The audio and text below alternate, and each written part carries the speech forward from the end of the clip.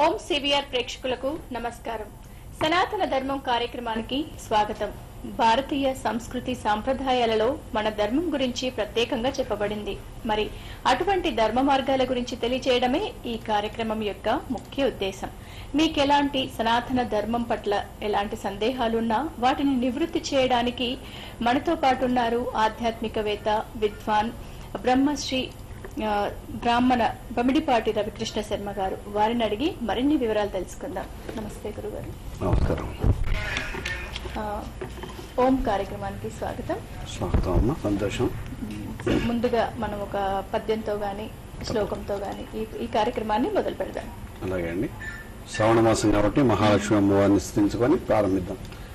లక్ష్మీ క్షీర సముద్రరాజతనయాం శ్రీరంగధామేశ్వరీం. దాసీభూత సమస్త దేవవనితాం లోకైక దీపాంకురాం శ్రీమన్మంద కటాక్షలబ్ధ విభవత్ బ్రహ్మేంద్ర త్వాం త్రైలోక్య కుటుంబిని సరసిజాం. వందే ముకుంద ప్రియాం మహాలక్ష్మీ నమ. గురుగారు ముందుగా ఇది శ్రావణ మాసం కాబట్టి ప్రతి ఒక్కరికి లక్ష్మీదేవి అంటే చాలా ఇష్టం. అలాంటి లక్ష్మీదేవి ఐశ్వర్యాలు ఇవ్వాలి అంటే మనం ఎన్నో రకాలుగా పూజలు చేస్తూ ఉంటాం. మరి అలాంటి ఐశ్వర్య దీపం అంటే ఏమిటి? ప్రారంభంలో మంచి ప్రశ్న చేశారండి ముందుగా మహిళలందరికీ కూడా శ్రావణ మాసం యొక్క శుభాకాంక్షలు. ఎందుకంటే శ్రావణము అంటే శ్రవణ నక్షత్రానికి అధిపతి చంద్రుడు మనకారకుడు. అంటే చాలా స్త్రీలకు సంబంధించినటువంటి అందరి మనస్సును కూడా చాలా ఆనందంగా ప్రశాంతంగా సుఖ సంతోషాలతో ఉండేటటువంటి కాలము ఈ శ్రావణ మాసం. ఈ శ్రావణ మాసంలో శ్రావణ మంగళవారముల నోములు శ్రావణ శుక్రవారములు వరలక్ష్మి వ్రతం నోము అని విశేషంగా మనం చేస్తూ ఉంటాం మనందరికీ తెలిసిందే. ఎవరు ఏ ఉద్దేశంతో చేసినా కోర్కలు తీరడం కొరకు మాత్రమే పూజ అని భావిస్తూ ఉంటాం మనం. పూజ కోరికతో చేసేటువంటి పూజ వేరు వ్రతం వేరు.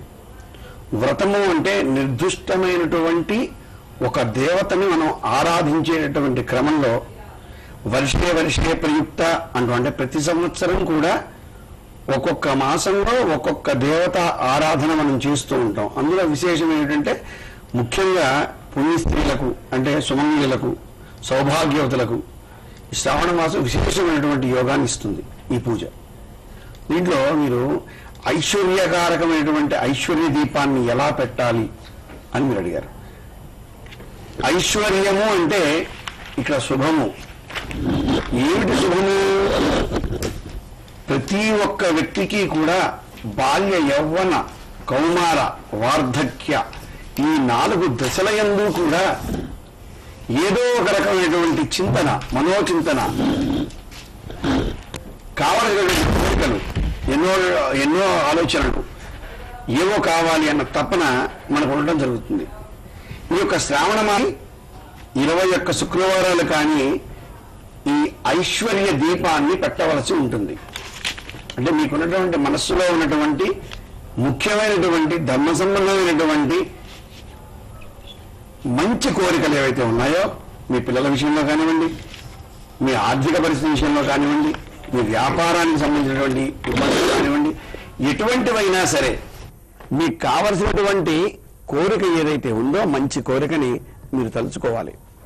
అటువంటి కోరికతో మీరేం చేయాలి అంటే తూర్పు కానీ ఉత్తరముఖంగా కానీ తూర్పు లేదా ఉత్తరముఖంగా ఈశాన్య భాగంలో మీ పూజా మందిరంలో ఉన్నటువంటి స్థలంలో ఒక చిన్న పీటని ఏర్పాటు చేసుకోవాలి. ఆ పీట మీద ఎర్రటి వస్త్రాన్ని పరచాలి. జాకెట్ ముక్క కానివ్వండి ఒక చిన్న వస్త్రం ఏదన్నా ఎర్ర రంగు ఎర్ర రంగు ఉన్నటువంటి వస్త్రాన్ని పరచాలి. ఆ వస్త్రం మీద రెండు మట్టి పాత్రలు మూకుళ్ళు అంటాం మనం. పెద్ద పెద్ద పెద్ద మట్టి పాత్రల్ని రెండు మనం దాని మీద ఉంచాలి. ఆ మట్టి పాత్రలు రెండు ఉంచి ఒకదానిపైన ఒకటి ఆ పైన ఉన్నటువంటి మట్టి పాత్రలో నిండుగా ఉప్పు పోయాలి. గల్లు ఉప్పు అంటారంటే మనం వాడే సాల్ట్ ఏదో మెత్తటి ఉప్పు కాకుండా ఆహార పదార్థాల్లో తినేది కాకుండా గల్లు ఉప్పు అని లావుగా ఉంటుంది రాళ్ళ ఉప్పు అని కూడా అంటుంటారు కొన్ని ప్రాంతాల్లో. ఆ ఉప్పుని ఆ ప్రమిది నిండా పోయాలి ఆ మట్టి మీకు నిండా పోయాలి. నిండా పోసిన తర్వాత దాని మీద పసుపు కుంకుమ శుభ్రంగా చల్లాలి మొత్తం. ఆ ఉప్పు నిండా పసుపు కుంకుమని చల్లాలి. చల్లిన తర్వాత ఆ మట్టి మూకులు రెండిటికి కూడా గంధం పెట్టి కుంకుమని పెట్టాలి. కుంకుమని పెట్టి ఆ ఉప్పు పైన చిన్న ప్రమిదలు రెండు తీసుకొని ఒక ప్రమిద మీద ఒకటి రెండు ప్రమిదల్ని పెట్టి దానిలో ఆవు నెయ్యి కానీ నువ్వుల నూనె కానీ పోసి రెండు ఒత్తుల్ని ఒకటిగా చేసి తూర్పు ముఖంగా కానీ ఉత్తర ముఖంగా కానీ వెలిగించాలి. ఈ వెలిగించినప్పుడు దీపానికి సంబంధించినటువంటి స్తోత్రాన్ని మనం చదువుకోవచ్చు.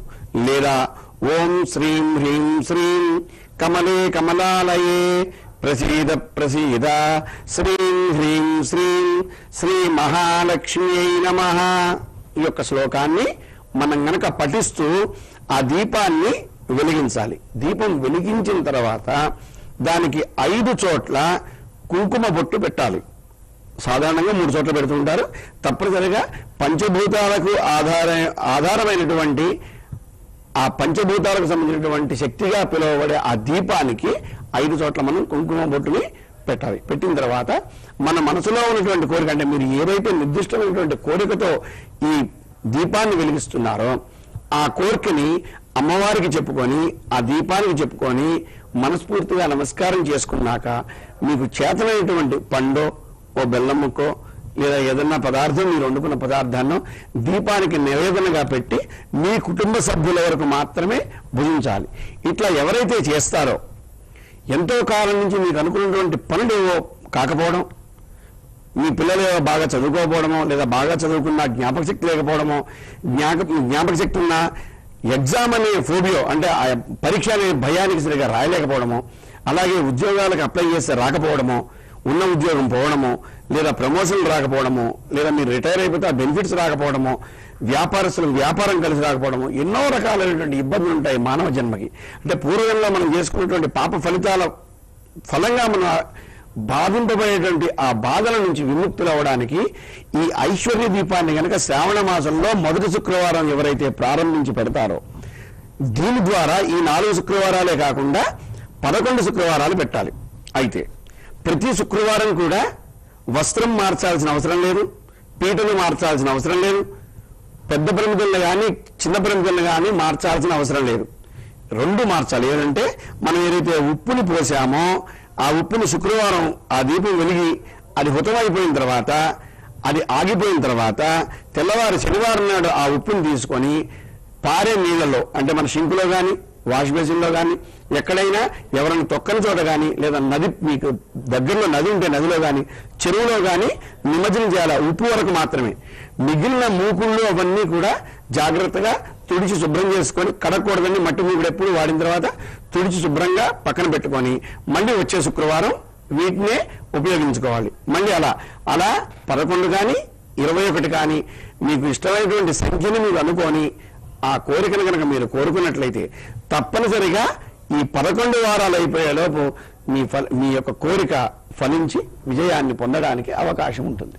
శ్రావణ మాసం చక్కగా ఐశ్వర్యం కోసం ఎంతో మంది పూజలు చేస్తుంటారు చాలా చక్కగా వివరించారు గురుగారు. మనం ఇప్పుడు నెక్స్ట్ కాల్ తీసుకుందాం. హలో హలో ఆ, హలో సార్. హలో. నమస్కారం అండి. నమస్తే అండి? నమస్కారం అండి. ఆ, నమస్కారం. చెప్పండి. నర్సరాపేట నుంచి మాట్లాడుతున్నాను నాగేశ్వరరావు అని. చెప్పండి. హలో? చెప్పండి మీ సందేహం ఏంటి? ఇప్పుడు మహాభారతం ఇప్పుడు సీరియల్ జరుగుతుంది కదా వస్తుందండి. అయ్యా మీ వాయిస్ కట్ అవుతుందండి. మహాభారతం సీరియల్ జరుగుతుంది కదా ఇప్పుడు మళ్ళీ. మహాభారతం సీరియల్ వస్తుంది కదా సీ-. అవునండి చెప్పండి వినిపిస్తుంది. ఆ, చెప్పండి. మరి మహాభారతం సీరియల్ వస్తుంది కదా అవును. ఆ సీరియల్లో సీరియల్లో అత్తినాపురము దాని పక్కనే గంగా నది ఉన్నట్టు చూపిస్తున్నారు. ఒకటి. ఆ చూపించే వాటిలో ఎందుకంటే భీష్ముడు గాని చంద్రుడు గాని వాళ్ళందరూ దగ్గరున్న ఇది గంగా నదికి వెళ్ళి అంటూ చూపిస్తున్నారు.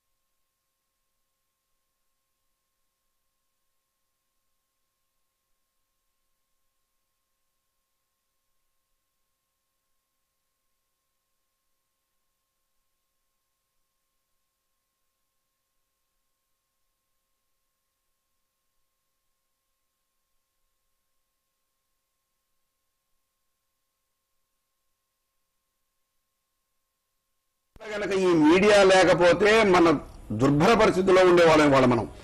ప్రతి ఒక్కళ్ళు కూడా పొద్దునే దేవుడితో పాటు మీడియాకు కూడా దండం పెట్టాలి. ఎందుకు దండం పెట్టాలి అంటే ప్రాపంచిక విషయాలతో పాటు సనాతన విషయాలను కానివ్వండి ఆగమశాస్త్ర విషయాలు కానివ్వండి ధర్మానికి సంబంధించిన విషయాలు కానివ్వండి దేవతలకు సంబంధించిన విషయాలు కానివ్వండి శాస్త్రాలకు సంబంధించినటువంటి విషయాలను కూడా వాళ్ళు మనకు చూపిస్తున్నారు.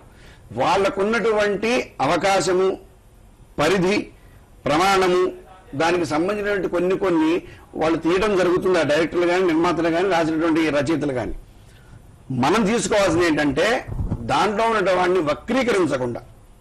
భారతంలో ధర్మం గెలిచింది అధర్మం ఓడిపోయింది. ఏ ఏ అధర్మాన్ని చేస్తే మనిషి పతనమవుతాడో నేర్పించింది భారతం. ఏ ఏ ధర్మాన్ని నిర్వర్తిస్తే మనిషి దేవుడు దేవుడవుతాడో చెప్పింది రామాయణం. కాబట్టి ఆ రెండు విషయాల గురించి ఆలోచించండి తప్ప గంగ చూపిస్తారు యమున చూపిస్తారు. ఏమంటే ఒక నదిని చూపించారు. సరే గంగ అన్నాడు. కాదు యమున అంటాడు. మీరు అది గంగా యమున మీకు ఎలా తెలుస్తుంది? అందుకని వక్రీకరించదు ఎందుకంటే భీష్మాచార్యుల వారికి గంగాదేవికి రిలేషన్ ఉంది కాబట్టి దాని పరంపరలో ఆయన చూపించిన భాగం అయి ఉండొచ్చు. అందుకని స్త్రీల గురించి దాంట్లో మనం వక్రీకరించొద్దు. మనకు కావాల్సినటువంటి ధర్మాన్ని తీసుకుందాం. మిగిలిన వదిలేద్దాం. ఎందుకంటే వాళ్ళ వాళ్ళ ధర్మానికి వదిలేద్దాం దాన్ని. శుభం అండి థ్యాంక్ యూ గురుగారు. నెక్స్ట్ కాల్ తీసుకుందాం. హలో హలో నమస్తే అండి. నమస్తే అండి మీ పేరు? మేము ప్రకాశం డిస్ట్రిక్ట్ నుంచి మాట్లాడుతున్నామండి. అమ్మాయి పేరు ముంతాజ్ గుడి అండి. పెళ్ళి చేద్దామంటే లేదండి. ఏం చేయమంటారు? ఏమైనా పరిహారం చెప్తారా గురుజీ? అమ్మా తప్పకుండా అమ్మా. మీ- మీ అమ్మాయి పేరు ఏమిటండి? ముంతాజ్ గుడి స్వామి. ముంతాజ్ గుడియా. ముంతాజ్ గుడియా. అమ్మా మీరు విష్ణు సహస్రనామ పారాయణం చేస్తారా? విష్ణు పారాయణమా? పెళ్ళి రేపు ఆది పెడదాం అనుకు చేద్దాం అనుకుంటున్నాము. వాళ్ళకి మాకు మళ్ళీ డబ్బులు కూడా మీకు విష్ణు సహస్రనామం తెలుసా? విష్ణు సహస్రనామం తెలుసా మీకు? విష్ణు పుస్తకం దొరికిద్దా గురుజీ? అమ్మ విష్ణు సహస్రనామం తెలుసా? తెలియదంట పుస్తకం దొరికిద్దా? మీకు విష్ణు సహస్రనామంలో ముప్పై రెండో శ్లోకం ఉంటుందండి. విష్ణు సహస్రనామంలో ముప్పై రెండవ శ్లోకం ఉంటుంది. ఆ ముప్పై రెండవ శ్లోకాన్ని గనక మీరు పారాయణ చేసినట్లయితే ఏమండి కళ్యాణానికి సంబంధించినటువంటి వివాహానికి సంబంధించినటువంటి ఏమన్నా ఇబ్బందులు కనుక ఉన్నట్లయితే ఆడపిల్లలకు తొలగిపోవడానికి అవకాశం ఎక్కువగా ఉంటుంది. తర్వాత మీ ఇష్టదైవానికి సంబంధించినటువంటి ఆరాధన. మీ అమ్మాయికి ఎవరైతే ఇష్టమైనటువంటి దైవం ఉన్నారో ఆ దైవానికి పదకొండు మంగళవారాలండి. పదకొండు మంగళవారాలు ఉపవాసం చేయమండి. అంటే రాత్రిపూట మధ్యాహ్నం తగ్గ భోజనం చేయమనండి. రాత్రిపూట ఉప్పు ఉప్పు వాడకుండా ఉండేటటువంటి పదార్థాన్ని తినమనండి. ఉప్పు మాత్రం వాడద్దు రాత్రిపూట. ఉప్పు వాడకుండా ఉండే పదార్థాన్ని కనుక భుజించినట్లయితే కనుక పదకొండు మంగళవారాలు అయిపోయేసరికి మీ అమ్మాయికి తప్పనిసరిగా వివాహ నిశ్చయమై మంచి వరుడితో వివాహం అవుతుంది. నెక్స్ట్ కాల్ తీసుకుందాం గురుగారు. Hello hello? నమస్కారం అమ్మాయి గారు. నమస్తే అండి మీ పేరు? నా పేరు చక్రపాణి చక్రపాణి గారు ఎక్కడి నుంచి కాల్ చేస్తున్నారు? హలో? చక్రపాణి గారు ఎక్కడి నుండి కాల్ చేస్తున్నారు? చిత్తూరు చిత్తూరు జిల్లా. చిత్తూరు జిల్లా. మీ సమస్య అడగండి. సందేహం. స్వామి గారు నమస్కారం. భగవద్గీతలో వృక్షములలో రావి చెట్టు నేనంటాడు గీతాచార్యుడు మర్రి చెట్టు మర్రి ఆకులపై పరుండువాడు మహావిష్ణువు అని చెప్పుకున్నాము. మర్రి చెట్టు రావి చెట్టు ఒకటేనా? వేదంలో అది వివరించగా వివరించాల్సిందిగా ప్రార్థిస్తున్నాం. చాలా చాలా చాలా మంచి ప్రశ్న వేశారండి మీరు. ఇక్కడ మీకు చాలా ఫోటోల్లో కూడా చూసుంటారు మీరు. పురాణాల్లో కాకుండా స్వామివారు మీకు నదిలో ఒక మంచి పత్రం మీద పడుకుంటాడు అశుద్ధ పత్రము అంటే రావి ఆకు. రావి మర్రి ఇటువంటి ఏవైతే వృక్షాలు ఉన్నాయో ఇవన్నీ దేవతా వృక్షాలండి. దేవతలకు సంబంధించినటువంటి వృక్షాలు అంటాం అంటే పవిత్రమైనటువంటి కార్యక్రమాలకు వాడేటటువంటి పదార్థాలు అవన్నీ. ఆ ఆ మర్రి చిగుళ్ళు కానివ్వండి లేదా రావి చిగుళ్ళు కానివ్వండి మర్రి సమిధులు కానివ్వండి రావి సమిధులు కానివ్వండి పవిత్రమైనటువంటి కార్యక్రమాలకి వాడుతూ ఉంటాం. అంటే శుభకార్యాలకి ఎక్కువగా వాడడం జరుగుతూ ఉంటుంది.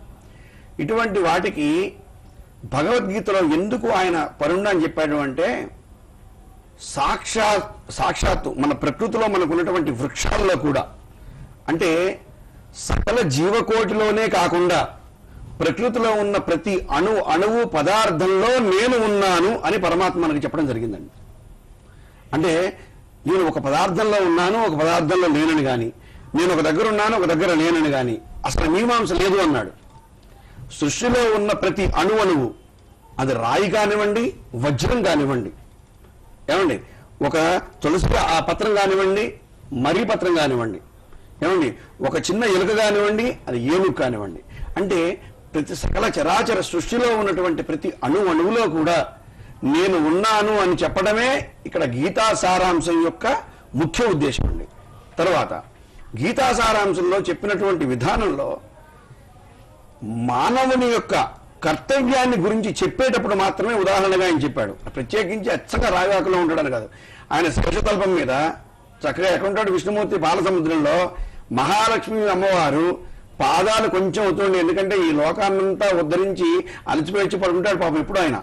ఆ ఉద్ధరించి వచ్చిన ఆయన పాదాలు స్పృశిస్తూ మెల్లిగా నొక్కుతూ ఆయనకి ఆనందంగా హాయిగా సేవ తీరడం కోసం ఆవిడ నొక్కుతూ ఉంటుంది. అటువంటి శేషతల్పం మీద పడుకో ఉంటాడు.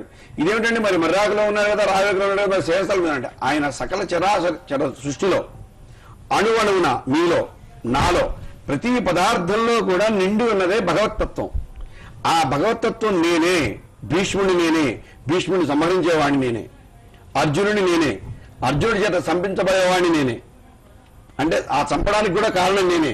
నువ్వు నువ్వు నిమిత్త మాత్రుడివి కర్మ ఫలితం మాత్రం నీకు సంబంధం లేదు. నువ్వు క్రియ నేను చెప్తున్నాను నువ్వు చెయ్యి అన్నాడు గీతలో. కాబట్టి మరియాకు రావ్యాకు వేరే వేరేగా మనం ఇక్కడ ఉద్యోగం తీసుకోవద్దండి ఆయన చెప్పిన విధానం ఏంటంటే సకల చరాచర సృష్టిలో నేను నేను మిళితమై ఉన్నాను. ప్రతి వస్తువులో నేను ఉన్నాను. ప్రతి ప్రకృతిలో నేను ఉన్నాను అని చెప్పడమే ఆయన ఉద్దేశం తప్ప వేరే కాదండి. సంతోషం. నెక్స్ట్ కాల్ తీసుకుందాం. హలో హలో చెప్పండి మీరు. ఏంటండి? అండి అర్థం కావట్లేదండి. మీ పేరు చెప్పండి. కావాలి నుంచి కావాలి. మీ పేరు చెప్పండి. అమ్మ నేను ఫోన్ మీరు టీవీ. లో పెట్టండి అమ్మా ఫస్ట్. తగ్గించారా? టీవీ సౌండ్ తగ్గించారు? చెప్పండి. బ్రహ్మకమలాలు ఉన్నాయండి. ఆ, బ్రహ్మకమలాలు మా అబ్బాయి ఇంట్లో కూర్చున్నాయండి. చాలా మంచిదేనా? బ్రహ్మ కమలాలు చెట్టు వేస్తున్నాడు ఓకే. చాలా పూలు పూసాయండి పని ఓకే అండి. గురుగారు బ్రహ్మ కమలాలు వాళ్ళ ఇంట్లో పూసాయంట మంచిదే. అమ్మా ఎవరమ్మా మీది? కావాలి అమ్మా. అమ్మ బ్రహ్మకమలాలు అనేవి అంటే ఉండటం వాస్తవం. ఎందుకంటే అవి హిమాలయ పర్వతాలకు సంబంధించినటువంటి భాగంలో ఎక్కువగా బ్రహ్మకమలాలు పూస్తూ ఉంటాయి. ఎందుకంటే ఆ వాతావరణం ఒక్కొక్క వాతావరణంలో ఒక్కొక్క ఫలం. ఇప్పుడు మన దగ్గర యాపిల్స్ పండవు ఈ మధ్య ఎవరో మన దగ్గర పండించారు. అంటే ఒక్కొక్క ఫలం కానీ ఒక పుష్పం కానీ కొన్ని కొన్ని ప్రాంతాలు వాతావరణాన్ని బట్టి పండుతూ ఉంటాయి. అవి అవి పూస్తూ ఉంటాయి. కాబట్టి బ్రహ్మకమలం అనేది అదృష్టం అండి. ఏ పువ్వు అయినా సరే భగవంతునికి చెందేదే. ఏమండి? బ్రహ్మకమలం పూయకూడదు అని ఎక్కడ లేదు. చక్కగా శ్రావణ మాసం వరలక్ష్మి వ్రతం వస్తుంది మనకు రేపు. ముప్పై ఏడో తారీఖు నాడు ఈ శుక్రవారం కాక వచ్చే శుక్రవారం రెండో శుక్రవారం పౌర్ణమి ముందు మీరు ఆ బ్రహ్మకమలాల్ని చక్కగా అమ్మవారికి సమర్పించండి. మొత్తం కోయకపోయినా కనీసం ఒక నాలుగో ఐదో కోయండి పన్నెండు ఉన్నాయన్నారు కదా. కోసి చక్కగా అమ్మవారికి సమర్పించండి. ఇంకా ఎక్కువగా పోస్తాయి. బ్రహ్మకమలం పూయటంలో ఎటువంటి దోషం లేదు. మన ఇంట్లో ఏ పుష్పమైనా పూయవచ్చు. కాకపోతే ప్రతి పుష్పాన్ని కూడా ప్రకృతి నుంచి సేకరించినటువంటి ప్రతి పదార్థం కూడా భగవద భగవద్ అర్పితం కావాలి. ఒక్కసారి స్వామివారికో అమ్మవారికో భగవంతుడికో సమర్పించి తర్వాత మనం దాన్ని ధరించవచ్చు స్వీకరించవచ్చు. కాబట్టి బ్రహ్మకమలం పూయటం తప్పులేదు చాలా అదృష్టవంతులు మీరు. మనకి కావలి ప్రాంతం అంటే కొంచెం వేడి ప్రాంతం. మరి మీ వేడి ప్రాంతంలో ఉష్ణమండల ప్రాంతంలో కూడా మీకు పూసిందంటే మీరు మరి పూర్వజన్మ సుఖితం మీరు అదృష్టవంతులు. కాబట్టి అదృష్టవంతులు మీరు తప్పకుండా దాన్ని పూజకు వినియోగించండి అమ్మా చాలా మంచిది. దానివల్ల శుభమే తప్ప అశుభమేం లేదు చాలా మంచిది. ఓకే గురుగారు నెక్స్ట్ కాల్ తీసుకుందాం. హలో అండి. నమస్తే అండి మీ పేరు? నా పేరు రమేష్ అండి. ఏంటండి? రమేష్ అండి. రమేష్? ఆ, ఎక్కడి నుండి కాల్ చేస్తారు భద్రాద్రి కొత్తగూడెం జిల్లా చర్ల మండలం కుదునూరండి. ఓకే మీ సందేహాన్ని అడగండి గురువు గారిని నాది కొన్ని జాతకం గురించి తెలుసుకోవాలండి. ఇది జాతకానికి సంబంధించింది కాదమ్మా. సరే ఏంటమ్మా మీ పేరేమిటి? గురుగారు మామూలుగా ఇప్పుడు మనం మంగళవారం విశిష్టత. మంగళవారం ఎక్కువగా మంగళప్రదం అంటారు. కానీ కొన్ని పనులు చేయకూడదు ఇది చేయకూడదు అది చేయకూడదు అని అంటారు. ఎందుకని?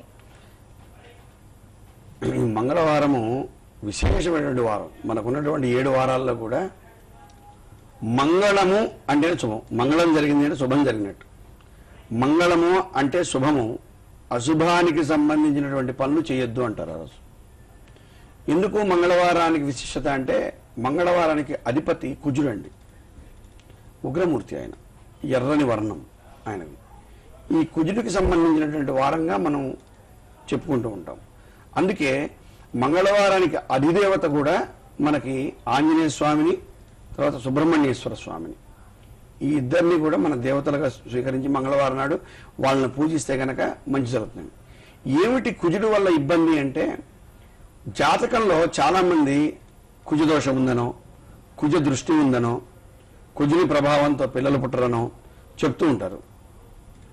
ఈ క్రమంలో ఆ కుజునికి సంబంధించినటువంటి ఇబ్బందులు తొలగడం కొరకు జాతక సమస్యలు ఉన్న వాళ్ళు ఆంజనేయ స్వామిని కానీ సుబ్రహ్మణ్యేశ్వర స్వామిని పూజించడం దానికి సంబంధించిన ప్రదక్షిణాలు చేయడం దానికి సంబంధించిన పూజాది కార్యక్రమాలు నిర్వహించడం వల్ల కొంత కుజుని యొక్క అనుగ్రహం ఏర్పడి ఇబ్బంది నుంచి దూరం అవుతారు.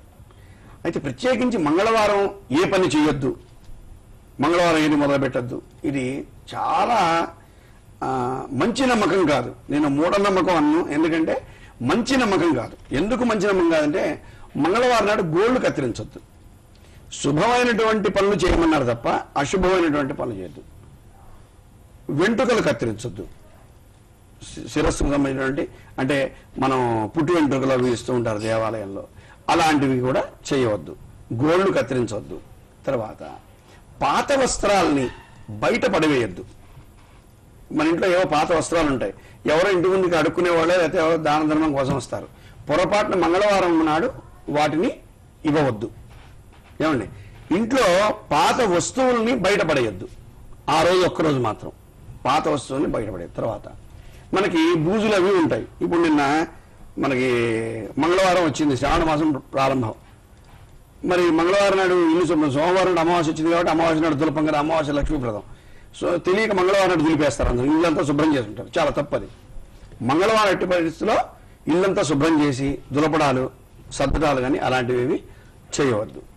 తర్వాత ముఖ్యంగా మంగళవారం నాడు ఎవరికి ధనాన్ని ఇవ్వవద్దు. ఎప్పుడు అప్పుగా ఇవ్వద్దు. అప్పులు తీర్చుకోవచ్చు. అప్పులు తీర్చవచ్చు. అంటే ధనం మనం అప్పుగా ఇవ్వద్దు. అప్పుగా ఇవ్వడం వల్ల వాటి వల్ల కొన్ని సమస్యలు ఏర్పడి వివాదాలు ఏర్పడడానికి అవకాశం ఉంది. అదే మనం ఎవరికో ఇవ్వాలనుకోండి. అంటే సపోజ్ ఒక ఇంటద్దు కట్టాలి. మంగళవారం నాడు కట్టచ్చు. ఓ కిరాణా బిల్ కట్టాలి. కట్టచ్చు. ఓ చిట్టి కట్టాలి. కట్టచ్చు. ఏదో అట్లా. ఏదైనా మనం కొనుక్కోవడం కానీ మన నిత్యావసరాలకు సంబంధించిన పనులు చేయొచ్చు తప్ప అప్పుగా ఎవరికి ధనాన్ని. ఇవ్వవద్దు. అయితే మంగళవారం నాడు ప్రత్యేకించి ఎవరైతే బ్యాంకుకి వెళ్ళి కొంత డబ్బును జమ చేస్తారో మీరు ఒక వెయ్యి రూపాయలు బ్యాంకులో వేయండి ఒక అకౌంట్లో. మంగళవారం నాడు వేయండి. ఆ వెయ్యి రూపాయలు సాధారణంగా తొందరగా ఖర్చు కావు అవి ఉండటమో పెరగడమో జరుగుతుంది. మిగిలిన వారాల కంటే కూడా ధనాన్ని దాచుకోవడానికి మంగళవారం చాలా శుభప్రదం. తెలియక మంగళవారం ఆ పని చేయొద్దు ఈ పని చేయొద్దు అది చేస్తే నాకు కలిసి రాదు. ఇవన్నీ తప్పు. ఇందాక నేను ఇంకో వేరే అమ్మాయికి కూడా చెప్పాను. మంగళవారం నాడు ఎవరన్నా గనక కుజుని యొక్క దోషం కానివ్వండి ఏమైనా ఇబ్బందులు కనుక మీరు ఎదుర్కొన్నట్లయితే సంతానం లేని వారు కానివ్వండి వివాహం ఆలస్యమైన ఆలస్యమైన వారు కానివ్వండి వీళ్ళంతా కూడా మంగళవారం నియమం చేయండి. ఏమిటంటే ఉదయం అంతా కూడా ఉపవాసం ఉండి పండు కానీ ఏమన్నా తినండి. రాత్రిపూట ఉప్పు వేయకుండా ఉప్పు వేయని కూరలు కానీ ఉప్పు వేయని టిఫిన్ అంటే అల్పాహారం కానీ మీరు భుజించినట్లయితే గనక అత్యంత తొందరగా మీ కోరికలు నెరవేరడానికి అవకాశం ఉంటుంది.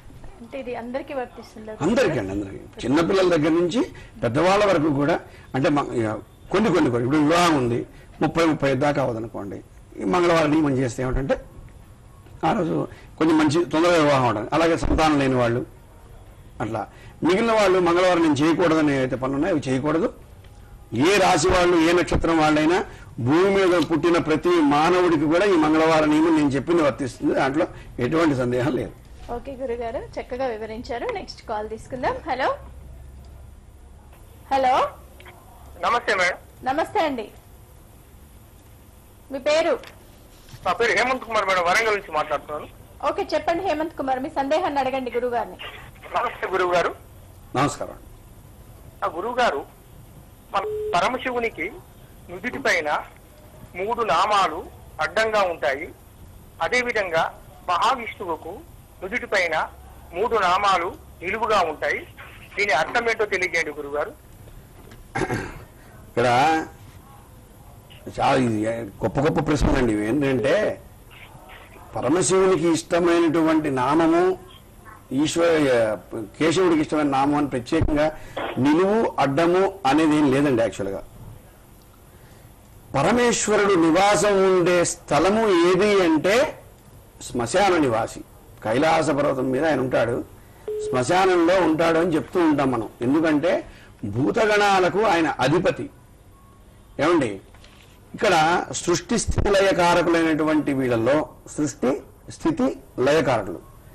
ఈ సృష్టికారకులైనటువంటి బ్రహ్మకి పక్కన పెడితే స్థితికారకుడు లయకారకులైనటువంటి ఈ ఇద్దరు శివకేశవులు ఎవరైతే ఉన్నారో దీంట్లో శుభానికి సంబంధించినటువంటి కళ్యాణకారకుడైనటువంటి స్వామి ఎవరైతే ఉన్నారో ఆ స్వామి విష్ణుమూర్తి అండి.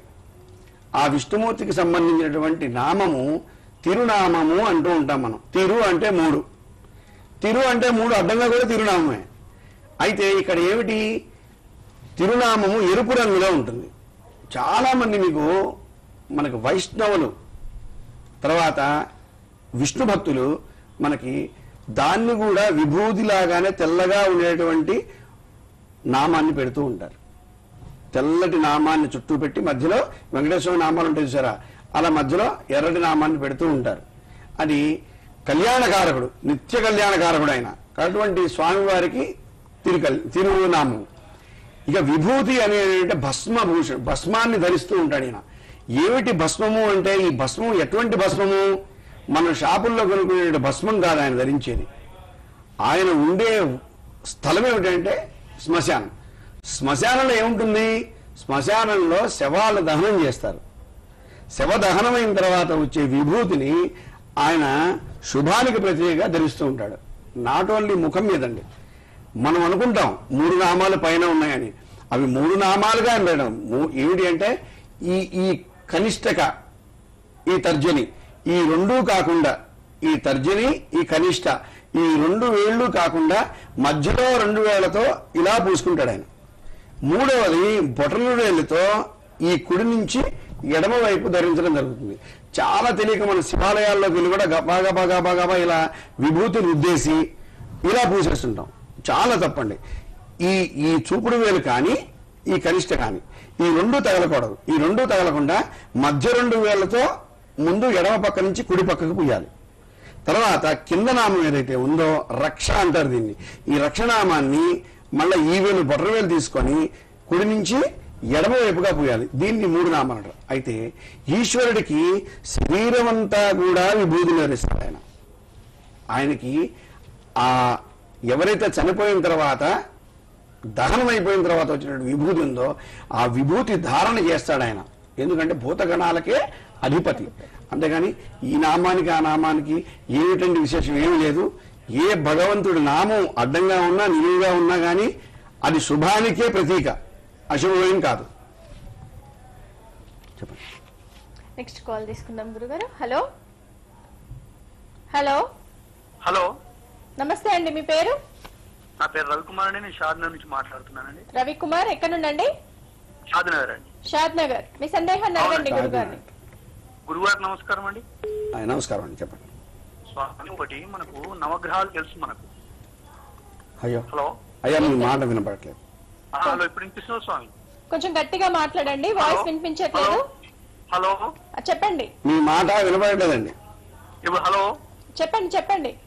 ఇప్పుడు మనకు నవగ్రహాలు ఉన్నాయి కదండి. నవగ్రహాలు. ఆ, ఆ అయితే ఈ నవగ్రహాలు కాక ఏమో ఒకటి మాంది గ్రహం అని సపరేట్ విన్నాను. ఏమండి? మాంది మాంది గ్రహం అని ఒకటి అది ఏమిటి అన్నది ఒకటి. రెండవది ఆ. మనకి జాతక చక్రంలో ఈ గళ్ళలో ఒక దగ్గర మా అని రాసి ఉంటదండి మాకు దీర్ఘం ఇచ్చి. అయితే అది ఎవరినో తెలిసిన వాళ్ళని అది మారకం సూచించే గ్రహమేమో అని అన్నారు. అయితే. నేనేమనుకున్నాను అంటే మారకం అనేది రెండో స్థానం ఎనిమిదో స్థానం చూపిస్తుంది కదా. అది మరి ఇది ఒక ఏ ఒకటో స్థానంలోనో ఏదో పదో స్థానంలోనో కొన్ని సందర్భాలు ఉంటున్నాయి ఇదేంటి తెలుసుకుందాం అలాగే రెండు మాంది గ్రామం ఏది మా మారకం ఏది తెలుసుకుందాం అలాగే అలాగే అలాగే ఏమంటే మనకి గ్రహాలు తొమ్మిది కాదండి. కోటాను కోట్ల గ్రహాలు ఉన్నాయి కోటాను కోట్ల గ్రహాలు గ్రహాలు కాకుండా వరుణుడు ఇంద్రుడు యముడు ఈ ముగ్గురు కూడా చాలా ముఖ్యమైనటువంటి వాళ్ళు. జాతక చక్రంలో మీరు అన్నారు కదా మాది గ్రహం అని చెప్పి. ఇదేమిటంటే కాళిదాసు కవిత్వం కొంత నా పైత్యం కొంత అని ఇప్పుడు రోజొక రకమైనటువంటి శాస్త్రం రోజొక రకమైనటువంటి మందు ఏవైతే రోగాలు ఎట్లా వస్తున్నాయో మందులు ఎట్లా వస్తున్నాయో అలాగా కొత్త కొత్తగా వీళ్ళు సృష్టించబడినటువంటి గ్రహాలు. మనకి జ్యోతిష్ శాస్త్రంలో చెప్పినటువంటి ముఖ్యమైనటువంటి గ్రహాలు నవగ్రహాలండి. తొమ్మిది గ్రహాలు మాత్రమే చెప్పారు. వీటిలో రెండు ఛాయాగ్రహాలు. కేతువు కానివ్వండి రాహు కానివ్వండి. మిగిలిన ఏడు గ్రహాలు మనకు ఏడు వారాలకు సంబంధించినటువంటి సూర్యుడు చంద్రుడు కుజుడు రాహువు గురుడు శని బుధుడు కే- కేతువు శుక్రుడు ఇట్లా. అంటే ఈ తొమ్మిది గ్రహాల్లో రాహుకేతువుల్ని మనం మినహాయిస్తే ఏడు గ్రహాలు మనకి ముఖ్యమైనటువంటి గ్రహాలు. మిగిలిన రెండు ఛాయాగ్రహాలు. అవి ఎప్పుడు ఆపోజిట్ డైరెక్షన్లో తిరుగుతుంటాయి? ఏమండి? వక్ర వక్రంలో మాత్రమే తిరుగుతూ ఉంటాయి. సవ్యంగా తిరగవు వక్రంలోనే తిరుగుతూ ఉంటాయి. ఇది అందరికీ తెలిసిందే మనకి మీకు కూడా తెలిసి ఉండొచ్చు. ఇక వరుణుడు ఇంద్రుడు యముడు.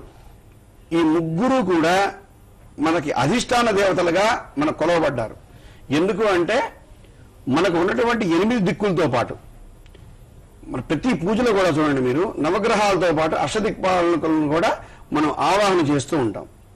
అష్టదిక్పాలకుల ఆవాహనలో ముఖ్యమైన వాళ్ళు ఇంద్రుడు తూర్పు భాగంలో ఉంటాడు ఇంద్రుడు. తర్వాత యముడు దక్షిణ భాగంలో ఉంటాడు. వరుణుడు పశ్చిమ భాగంలో ఉంటాడు. కుబేరుడు ఉత్తర భాగంలో ఉంటాడు. ఈ నలుగురిని ప్రామాణికంగా మనం తీసుకున్నాం. సరే కుబేరుడు ఒక్కడు మనకి జాతక చక్రంలో మనం మనం క్యాల్కులేట్ చేయం యాక్చువల్గా వరుణ ఇంద్ర యములను మాత్రమే మనం తీసుకోవడం జరుగుతుంది. కాబట్టి ఈ తొమ్మిది గ్రహాలు కాకుండా ఒకవేళ జాతక చక్రం పరిశీలించవలసి వస్తే వరుణుణ్ణి ఇంద్రుణ్ణి యముణ్ణి మనం క్యాల్కులేషన్లోకి తీసుకొని వాళ్ళ యొక్క స్థితిగతుల్ని మనం తెలుసుకోవచ్చు. మిగిలిన ఏ గ్రహాలని పెద్దగా పట్టించుకోకండి. తర్వాత మారకము అంటే ప్రతి లగ్నానికి ద్వితీయంలో శని ఉంటే ఆ మనిషి చనిపోవడము ఆ మనిషి వాళ్ళు ఎవరో చనిపోవడం జరగదండి. ఏమండి? లగ్నం లగ్నాతో ద్వితీయ అష్టమ స్థానాల్లో ఎక్కడ శని వంద సంవత్సరాలు బతికిన వాళ్ళు కూడా ఉంటారు. ఏమండి?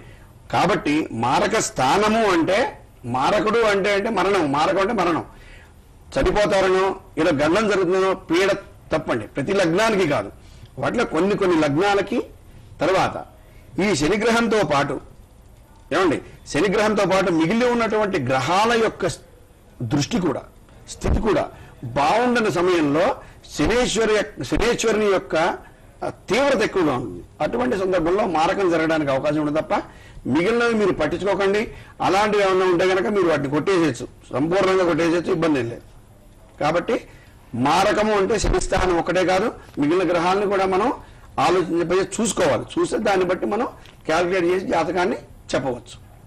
చక్కగా వివరించారు గురుగారు. నెక్స్ట్ కాల్ తీసుకుందాం. హలో. హలో. నమస్తే అండి మీ పేరు? నా పేరు రాంబాబు అండి సత్తనపల్లి. ఏం పేరండి? నా పేరు రాంబాబు అండి రాంబాబు మేడం. రాంబాబు సత్తెనపల్లి. అవును- అవునండి. గురుగారిని మీ సందేహం అడగండి. అయ్యో చెప్పండి. గురువు గారు నా- నాకు మూడు సందేహాలు ఉన్నాయి గురువు గారు చెప్పండి. అందులో ఏంటంటే నేను ఒకసారి శివపురాణం చదివేటప్పుడు శివుని నుంచి మహావిష్ణువు బ్రహ్మ శివుని నుంచి మహావిష్ణువు బ్రహ్మ ఉద్భవించారని ఉంది. శివపురాణంలో అదేవిధంగా విష్ణు పురాణంలో చూసుకుంటేనేమో. విష్ణుమూర్తి వల్ల శివుడు బ్రహ్మ ఉద్భవించినట్టు ఉంది అంటే రెండిట్లో ఏదో అది డౌట్ డౌట్ వన్. ఇంకా రెండో డౌట్ వచ్చేసి ఇప్పుడు కొడుకు లేకపోతే స్వర్గం ఉండదు అని అంటారు. మరి కూతురు ఉన్న పరిస్థితి ఏంటి? మూడో వచ్చేసి మా నాన్నగారు వ్యవసాయం చేసేవాళ్ళండి ఇదివరకే. వ్యవసాయం చేసేటప్పుడు వేరుశెనగ చేశారు వేరుశెనగని దుక్కి దున్నేటప్పుడు కాకులు వచ్చి తినేస్తున్నాయని. అంటే అంటే తెలియక ఏదో పాయిజన్ పెట్టేసి చల్లేశారు పొలం మీద. అయ్యో ఏం తింటే కాకులు తింటున్నాయన అంటే అంటే మా నాన్నగారు తెలియక చేశారులేండి అది తప్పే. అది కొన్ని కాకులు తిని చనిపోయినాయి. దానికి ప్రత్యామ్నాయంగా మేము నవగ్రహాల పూజ చేయించి పూజ చేయి- చేపించాము. అదేవిధంగా మా మా ఇంటికి వచ్చిన కాకులకి ఆ వాటర్ ఆ ధాన్యాలు అవి పెడుతున్నాము.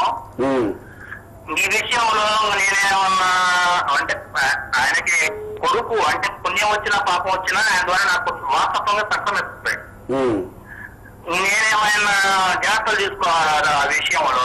కొంచెం దయచేసి చెప్పగలరు. తప్పకుండా. మొదటి ప్రశ్నకి సమాధానం అండి. శివాయ విష్ణురూపాయ శివరూపాయ విష్ణువే శివశ్చౌరం విష్ణు విష్ణువచ్చపదయం శివ. ఎప్పుడైనా వినే ఉంటారు ఈ శ్లోకాన్ని. శివకేశవులు వేరే కాదు ఇందాక కూడా చెప్పాను. ఇందాక వాళ్ళ విభూతి గురించి నామం గురించి ఇప్పుడేమో మీరు పుట్టడం గురించి చెప్పారు. లింగోద్భవం అండి. శివుడి ఉద్భవం లేదండి. శివుడు జన్మించడం లేదు. శివపార్వతులు ఆది దంపతులు. వాగర్ధావివ సంపృక్తం వాగర్ధ ప్రతిపత్తయ్యే జగత పితరం వందే పార్వతీ పరమేశ్వరు. వాళ్ళకి జనన మరణాలు లేవండి వాళ్ళు. వాళ్ళ జన్మ మరణాలు లేవు. ఈశ్వరుడికి జనన మరణం లేదు. తర్వాత విష్ణువు కూడా అంతే. శివుడు వేరు విష్ణువు వేరు కాదు. విష్ణువు కూడా జనన మరణాలు లేవు. అయితే మనకి పద్మపురాణంలో తర్వాత బ్రహ్మపురాణంలో చెప్పినటువంటి కొన్ని సంగతుల్లో విష్ణుమూర్తి నాభి నుంచి బ్రహ్మ ఉద్భవించడం జరిగింది అని చెప్పడం జరిగింది. ఎందుకంటే సృష్టి క్రమంలో సృష్టిని చేయడానికి ఒక అధిపతి కావాలి. సృష్టి కార్యానికి ఒకరిని నియమించాలి. అటువంటి నియమం కోసం మాత్రమే బ్రహ్మ ఉద్భవించడం జరిగింది. సో ఆ బ్రహ్మ ఉద్భవించడం జరిగింది కాబట్టి బ్రహ్మ విష్ణువు యొక్క నాభి నుంచి పుట్టాడన్నది వాస్తవం సత్యం. ఇక విష్ణువుకి శివుడు పుట్టాడనో శివుడికి విష్ణువు పుట్టాడని ఎవరైనా కనుక మీరు అంటే శివపురాణంలో రాయటము మీరు చదవటంలో పరమార్థంగా తెలుసుకోవాలి మీరు. ఈశ్వరుని గురించి చెప్పినప్పుడు ఈశ్వరుని యొక్క శక్తిని గురించి చెప్పినప్పుడు విష్ణు ఉద్భవం కూడా ఇద్దరు ఒకేసారి జరిగింది. ఈశ్వరుడు నుంచి విష్ణువు ఎట్లా ఉద్భవించాడనే విషయాన్ని మాత్రమే తెలియపరుచుంటారు తప్ప శివుడు వల్లే విష్ణువు ఉద్భవించాడనో శివుడికి విష్ణువు పుట్టాడనో అలా రాసి ఉంటారు నాకు తెలిసి. తర్వాత రెండో విషయం. రెండో విషయం మగపిల్లల గురించి అడిగారు మీరు. అపుత్రస్య గతిన్నాస్తి అని చెప్తూ ఉంటారు. అంటే పుత్రుడు లేకపోతే గనక స్వర్గలోకాలు సత్యలోకాలు బ్రహ్మలోకాన్ని మనం చెందలేమని. ఇది నూటికి నూరు పాళ్ళు.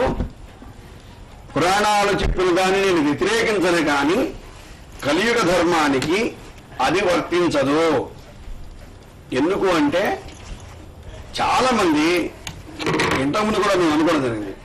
ఆడపిల్లలు పుడితే గనక ఏ ఉత్తరకర క్రియలు ఉండవు కాబట్టి వీళ్ళు స్వర్గానికి వెళ్ళరు నరకానికి వెళ్తారనో లేదా తర్వాత ఏమవుతారన్న సందేహం చాలా మందికి ముఖ్యంగా రావడం జరిగింది. పుత్రుడు ఎందుకు జన్మిస్తారు అంటే ఒక మనిషికి పుత్రుడు జన్మించడం దేనికి అంటే పూర్వజన్మలో నీకు ఎవరన్నా గనక రుణపడి ఉంటే అంటే నీకు గనక ఎవరన్నా రుణపడి ఉంటే ఆ రుణం తీర్చుకోవడానికి ఆ రుణం తిరిగి పొందడానికి పుత్రుడిగా జన్మిస్తారు. అలాగే నువ్వు ఎవరికైనా రుణపడి ఉంటే అటువంటి సందర్భంలో పుత్రుడిగా జన్మిస్తారు.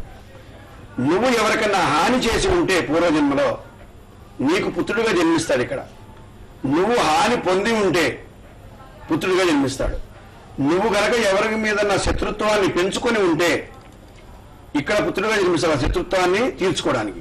నిన్ను ఎవరన్నా శత్రువుగా భావించి గనక నిన్ను చ- చంపేసి ఉంటే నీ శత్రువులు ఎవరన్నా మిగిలి ఉంటే దాన్ని తీర్చుకోవడానికి మళ్ళీ ఇక్కడ శత్రువుగా కొడుకు పుడతాడు తర్వాత రుణానుబంధులు కూడా నీ రుణాలు ఏమన్నా మిగిలిపోయి ఉంటే పూర్వజన్మలో నువ్వు చేయాల్సినటువంటి కార్యక్రమాలు ఏమన్నా మిగిలిపోయి ఉంటే నీకు పుత్రుడు జన్మిస్తాడు తప్ప ఈ పుత్రుడు జన్మించిన తర్వాత నీ మరణానంతరం చేసేటువంటి శ్రాద్ధ కర్మ ఏదైతే ఉందో శ్రద్ధగా వారు నిర్వహించడం వల్ల తిరిగి వాడికి మళ్ళీ పుత్రుడు జన్మించడు. రెండు నీకు మోక్షాన్ని లభించడం వల్ల తిరిగి నీకు పునర్జన్మ ప్రాప్తించదు. అంటే మోక్ష ఏమని చెప్తున్నా ఇక్కడ మంత్రంలో శాశ్వత బ్రహ్మలోక నిత్య నివాస సిద్ధి సిద్ధుల స్థితి ద్వారా అని చెప్తూ ఉంటాడు మంత్రంలో బ్రహ్మగారు. అంటే శాశ్వత బ్రహ్మలోకాన్ని నువ్వు పొందడం కొరకు మాత్రమే అంటే అక్కడ ఏదో పోగొట్టుకున్నావు. మళ్ళీ ఇక్కడికి వచ్చావు. మళ్ళీ నీకు పుత్రుడు జన్మించాడు. వాడు ఉత్తర క్రియలు మంచిగా చేయడం వల్ల నువ్వు మోక్షాన్ని పొంది తిరిగి మళ్ళీ జన్మ లేకుండా నువ్వు బ్రహ్మలోకాన్ని పొందుతున్నావు. ఇప్పుడు అసలు పుత్రుడే లేడు. ఆడపిల్ల మాత్రమే ఉంది. లేదా నలుగురు ఆడపిల్లలు ఉన్నారు. ఏమిటి అర్థం? పోయిన జన్మలో ఎవరికి రుణం లేడు ఎవరికి రుణం వదిలిపెట్టి రాలేదు. వీడికి శత్రువులు ఎవరు మిగలలేదు వీడి శత్రువు ఎవరికి కాదు. ఎవరికి వీడు బరువు కాదు వీడెవరికి బరువు కాదు. ఎటువంటి పాపకర్మాలు వీడు చేయలేదు ఎవరికి పాపకర్మ ఫలితం వీడు పొందలేదు. అంటే అన్నీ సమానంగా ఉండి తన విద్యుక్త ధర్మాన్ని సక్రమంగా నిర్వహించి ఇంకా ఏదో కొంత జీవన కాలం మిగిలిపోయి ఉండి జన్మించి తిరిగి మానవులు అంటే మోక్షాన్ని పొందగలిగే పుణ్యం చేయలేకపోయాడు. పాపాలు చేయలేదు కానీ మోక్షాన్ని పొందగలిగేంత పుణ్యాన్ని ఆయన చేయలేకపోయాడు. కాబట్టి తిరిగి ఈ లోకంలో ఆయన జన్మించిన తర్వాత ఆడపిల్ల పుట్టింది. అసలు మోక్ష మోక్షం కోసమే జన్మించాడు. అంటే ఇతనికి పాపం లేదు అసలు. పాపం లేదు నరకానికి పోయే అవకాశమే లేదు. కాబట్టి స్వర్గాన్ని తప్పించడానికి కొడుకులు అక్కర్లా. ఎవరికైతే ఓన్లీ ఆడపిల్లలు ఉన్నారో మళ్ళీ మళ్ళీ చెప్తున్నాను వాళ్ళకి నరక ప్రాప్తి లేదు. మీరు ఉన్నంతకాలం ధర్మబద్ధంగా న్యాయబద్ధంగా మన ఆచార వ్యవహారాన్ని మన సాంప్రదాయాన్ని గౌరవిస్తూ భగవన్నామ స్మరణ ఎవరైతే చేస్తారో ఆడపిల్లలు ఉన్న తల్లిదండ్రులు వాళ్ళకి నరకము లేదు. మీరు నరకానికి వెళ్తుంటే కదా మళ్ళీ ఆ గోమాతను తీసుకొచ్చి ఆ గో గోదానం చేసి వైతరిని దాటించి స్వర్గాన్ని పంపించడానికి.